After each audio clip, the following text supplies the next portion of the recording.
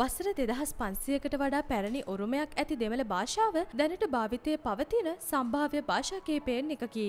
දෙමළ භාෂාව ඉන්දියාව, ශ්‍රී ලංකාව, මැලේසියාව සහ සිංගප්පූරුව යන රටවල බහුලව භාවිතා වන අතර අනෙක් රටවල් වලද සුළු වශයෙන් හෝ භාවිතා වේ. මව් භාෂාවක් ලෙස භාෂාවක් කතා කරන පුද්ගලයන්ගේ සංඛ්‍යාව අනුව දමිළ බස ඇත්තේ දහ අට වන ස්ථානයය.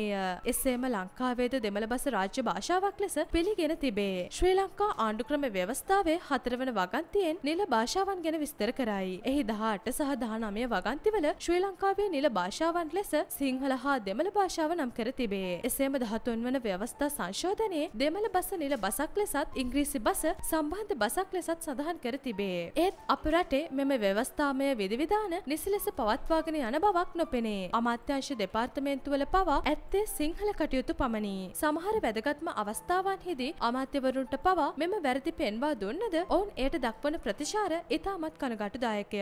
ඔවුන් පවසන්නේ අනාගතයේදී එම වරද නිවැරදි කරන බවයි. එහෙත් එය වචනයට පමණක් සේමාවේ. තමන් සම්බන්ධ කටයුතුවල ලිපිලේඛන ආදිය සෑදීමට පමණකි ඔවුන් නිවැරදි භාෂා පරිවර්තකයෙන් යොදාගන්නේ. පොදු වැසිකිළියේ සිට පාර්ලිමේන්තුව දක්වා මහමග නාම පුවරුවල දෙමළ බස මරයි. ශ්‍රී ලංකාවට වෙනම ජාතික භාෂා හා ඒකාබද්ධතා අමාත්‍යංශයක් ඇති නමුත් දෙමළ භාෂාව මැරීම දිගින් දිගටම ක්‍රියාත්මක වෙමින් පවතී. දෙමළ බස උගත් බුද්ධිමත් ආචාර්ය මහාචාර්ය වෙද්වතුන් සිටියත් ඔවුන් මේ සම්බන්ධව හඬක් නොනැගීමද කනගාටුවට කරුණකි. එපමණක් නොව ලංකාව තුළ අන්තර්වාර්ගික සමගිය හා රජයේ නිල භාෂාව ක්‍රියාත්මක කිරීම සඳහා වෙනම අමාත්‍යංශයක් තිබේ. ඊට අමතරව නිල භාෂා කොමිෂන් සභාව නිල භාෂා දෙපාර්තමේන්තුව සහ තවත් විවිධ ව්‍යාපෘති භාෂා ප්‍රතිපත්ති බලාත්මක කිරීම සඳහා කටයුතු කරමින් සිටිනවායයි දැනගන්නට ලැබේ. වත්මන් අග්‍රාමාත්‍ය මහින්ද රාජපක්ෂ ජනාධිපති ධූරය දැරූ කාලය තුළ ත්‍රයි භාෂා සඳහා දස අවුරුදු වැඩසටහනක් ක්‍රියාත්මක කළේය. ත්‍රයි භාෂා වැඩසටහනේ පරමාර්ථය වූයේ ඉංග්‍රීසි භාෂාව තුළින් ජනතාවගේ ඉංග්‍රීසි කුසලතා ඉහළ නැංවීම සහ සිංහල දෙමළ භාෂා පරිවර්තනය තුළින් ජනවාර්ගික කණ්ඩායම් අතර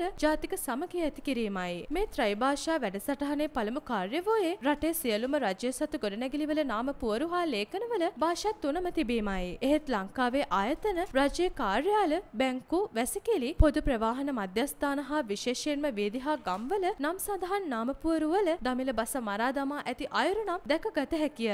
සමහර අවස්ථාවල තිබිය යුතු නිවැරදි අක්ෂර වෙනුවට වැරදි අක්ෂර යොදා ගැනීම තුළ අවශ්‍ය අර්ථය නොව කුණුහල්ප අර්ථයන් ඉස්මතු වී තිබේ. මේ නිසයි රාජ්‍ය ආයතනවල දෙමළ භාෂාව භාවිතයට කුඩම්මාගේ සැලකිලි ලැබෙන බව රාජ්‍ය භාෂා ප්‍රතිපත්ති සහ ඒවා ක්‍රියාත්මක කිරීම සම්බන්ධව අතීතයේ රජයට උපදෙස් දුන් එස් බාලකෘෂ්ණන් පවසා ඇත්තේ. ප්‍රාදේශීය මාධ්‍ය පෙන්වා දෙන්නේ රජයේ බස් රථයක ගර්භණී මව්වරුන් සඳහා ලෙස නිවැරදිව සිංහල හා ඉංග්‍රීසි භාෂාවෙන් ලියා ඇති නමුත් දෙමළ භාෂාවෙන් එය ගර්භණී සුනකයින් සඳහා ලෙස ඉතාමත් වැරදි අක්ෂර දෝෂ සහිතව සඳහන් කර ඇති බවයි. එම වැරැද්ද වගකිව යුත්තන්ට දැන්වෝද ඔවුන් එය නිවැරදි කරන බව පැවසුවද බොහෝ තැන්වල තවමත් එය නිවැරදි වී නැත. පාර්ලිමේන්තු නාම පුවරුවේද මෙවැනි අක්ෂර දෝෂයක් සිදු වී ඇත. අප මෑතකදී එම දෝෂය නිවැරදි කර ඇත්තෙමු ලෙස එවකට රාජ්‍ය භාෂා හා ප්‍රතිපත්ති අමාත්‍ය වාසුදේව නානායක්කාර මහතා වරක් පැවසීය. එහෙත් එතුමා නිතර පාර්ලිමේන්තුවට යන මාවතේ පිටකෝට්ටේ පිහිටා තිබේ. එහෙත් පිටකෝට්ටේ නාම පුවරුවේ පිටකෝට්ටේ යන්න දෙමළෙන් ලියා ඇත්තේ පිටකෝට්ටේ හෙවත් පිට ඇටය ලෙසිනි. පන්සල් වේදිය දෙමළින් කියවෙන්නේ පන්සලේ වීදි ලෙසය. එහෙත් පන්සල වේදිය ලියා ඇත්තේ පන්සවෙයි වීදි ලෙසය. එබඳු වචනයක් දෙමළයේ නැත. ජපන් ශ්‍රී ලංකා මිත්‍රත්ව පාරනම් පුවරුව ලිවිය යුත්තේ ජප්පාත් ඉලංගේ සිතේකා පූර්ව පාදේ යනුවෙනි. සිතේකා පූර්ව පාදයේ ලියෝ විට අදහස් වන්නේ මිත්‍රත්ව පාර යන්නයි. එහෙත් ජපන් ශ්‍රී ලංකා මිත්‍රත්ව පාර යන පුවරුවේ දෙමළෙන් ලියා ඇත්තේ සිතේක ප්‍රක්ම පාලම් කියාය. පාලම් යනු දෙමළෙන් පාලමය. ඒ අනුව දෙමළෙන් සිතිය යුත්තේ මෙතැන ඇත්තේ පාරක් නොව පාලමක් කියාය. හාත්සෝත් පාදකම කාරණය ඇත්තේ ජාතික සමගිය සහ සහජීවනය සඳහා රාජ්‍ය අමාත්‍යංශ පුවරුවේය. ඒ අමාත්‍යංශය පිහිටා ඇත්තේම ජාතික සමගිය වෙනුවෙනි. එහෙත් ඒ නාමපුවරුවේ කිසිදා දෙමළෙන් නැති වචනයක් ඇත. රාජ්‍ය යන්න දෙමළෙන් වහරන්නේ ඉරාජාංග කියාය. එහෙත් නාමපුවරුවේ ඇත්තේ ඉරාජා ඉන යනුවෙනි. එබඳු වචනයක් දෙමළයේ නැත. සිංහල දෙමළ සහජීවනය වෙනුවෙන් ජීනීවා ඇති අමාත්‍යංශයේ නාම පුවරුවේ රාජ්‍ය යන වචනයවත් දෙමළෙන් නිවැරදිව නැත්තේ දෙමළ අපිට රජය ගැන විශ්වාසයක් නැති බව සංකේතවත් කිරීමට විය යුතුය. පොදු වැසිකිළිය යන්නද දෙමළෙන් නාමපුවරුවේ ලියා ඇත්තේ වැරදියටය. වැසිකිළිය ශබ්ද වන්නේ මලසල කුඩම් කියාය. එහෙත් වැසිකිළියේ දෙමළෙන් ලියා ඇත්තේ වුළු අයි ඩුහුවු කියාය. එබඳු වචනයක් දෙමළේ නැත. කොළඹට ඇවිත් වැසිකිළි යන්නට ඕනෑ වූ අපේ අය වැසිකිළිය සොයාගන්නේ වචනයෙන් නොව වැසිකිලේ ඇඳ තිබෙන රූපේනි. යහපාලන රජය තුළ භාෂා දෙපාර්තමේන්තුව ජාතික ඒකාබද්ධතා රාජ්‍ය කටයුතු සමාජ සංවර්ධන හා හින්දු ආගමික කටයුතු පිළිබඳව අමාත්‍ය මනෝ ගණේෂන් භාරව සිටියේය. ඔහු එම කාලයේ භාෂා දෝෂ නිරාකරණය කිරීමට ඉතාමත් උවමනාවෙන් කටයුතු කර ඇති බව මෙහිදී සඳහන් කළ යුතුමය. රටේ බොහෝ ප්‍රදේශවල දෙමළ භාෂා දෝෂ ක්ෂණිකව නිවැරදි කිරීම සඳහා ඔහු වැඩි සැලකිල්ලක් දැක්වූ අතර වැදගත්ම ස්ථානයන් වන පොදු ප්‍රවාහන සේවයේ බස් රථවල නාම පුවරුවල නිවැරදිව භාෂාව සටහන් කරන ලෙස ප්‍රවාහන අමාත්‍යංශයට සහ බස් ඩිපෝවලට උපදෙස් ලිකුත් කර තිබුණද එහි වගකිව යුතු බලධාරීන් ඒවා නිවැරදි කිරීමට විශේෂ උනන්දුවක් දක්වා ඇති බවක් පෙනෙන්නට නැත.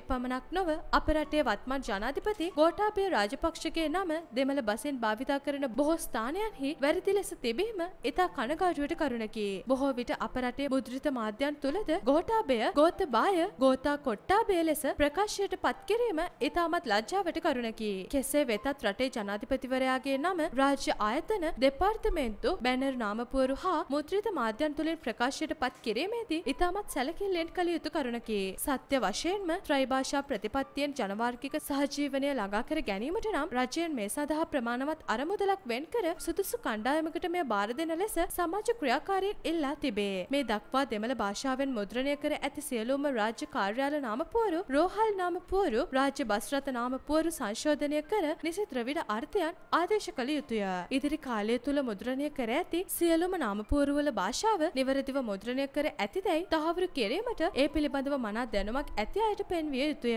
නාම පුවරු මුද්‍රණයට පෙර භාෂාවේ වැරදි සිදු නොවන බවට වග බලා ගැනීම සඳහා සියලුම රාජ්‍ය හා පෞද්ගලික මුද්‍රණාල වලට රාජ්‍ය බලධාරීන් උපදෙස් දිය යුතුය. ශ්‍රී ලංකාව තුළ මව්බස ලෙස ද්‍රවිඩ බස හසුරවන දේශපාලඥයන් මෙම ගැටලුව විසඳීම සඳහා බරපතල ලෙස පියවර ගත යුතුය. කියවීම මිනිසා සම්පූර්ණ කරයි යන කියමන නිවැරදිව ලියූ බස කියවීම මිනිසා සම්පූර්ණ කරයි ලෙස නිවැරදි විය යුතුය.